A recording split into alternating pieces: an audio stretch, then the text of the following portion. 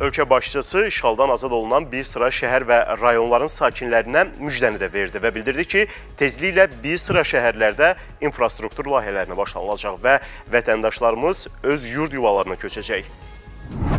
Biz bu il daha böyük sayda keçmiş köçkünləri öz dədə-baba torpaqlarına qaytaraq.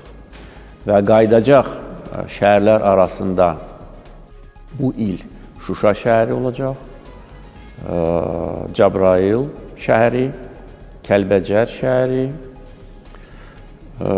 Xankəndi şəhəri, Xocalı şəhəri. 5 şəhərə artıq bu il keçmiş köçkünlər qayıdacaq. Ağdam, Zəngilan, Qubadlı şəhərlərinə isə 25-ci ildə keçmiş məcburi köçkünlərin qayıtması nəzərdə tutulur. Bununla paralel olaraq bir çox kəndlərdə, hansılarda ki, mən təməl qoymuşam, orada inşaat davam edəcək. Bir neçə kəndə keçmiş köçkünlər qayıdacaqlar. Məsəl üçün, Laçın rayonunun Sus kəndi hazır olacaq. Ondan sonra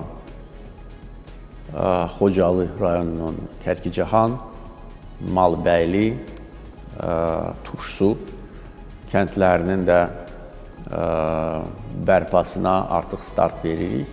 Kəndlər tamamilə dağılmış vəziyyətdədir. Yəni bu ən azı bax sadaladığım şəhər və kəndlərə keçmiş köçkünlər qayıdacaq və 26-cı ilin sonuna qədər o artıq bəyan edildi. Hədəfimiz 140 min keçmiş köçkünü öz dədə-baba torpaqlarına qaytarmaqdır.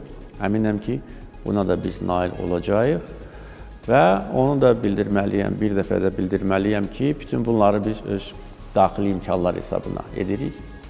Heç bir donor təşkilatı bizə köməklik göstərmir.